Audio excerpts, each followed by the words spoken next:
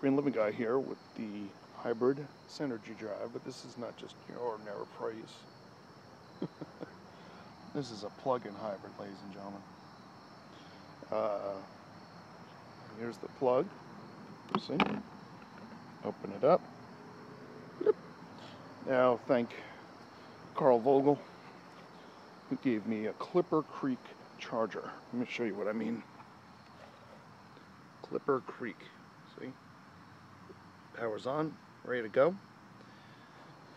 And here's the 110 from Toyota, but here's the 220.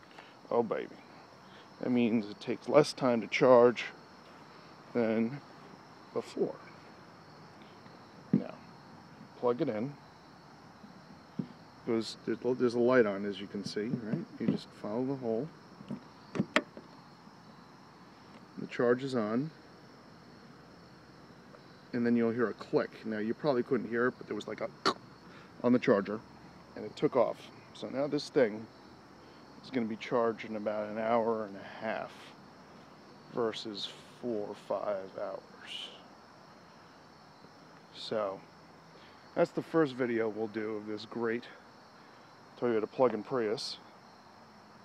Um, the next one is going to be how efficient it drives in all electric. the Living Guy up. Plug in